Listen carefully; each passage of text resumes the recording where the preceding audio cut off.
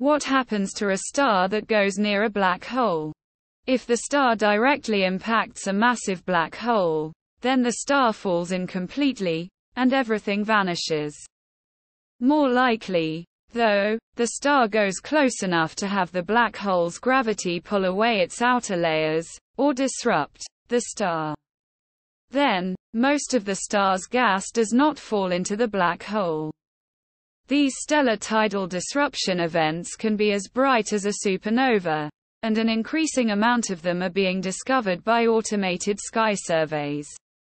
In the featured artist's illustration, a star has just passed a massive black hole and sheds gas that continues to orbit.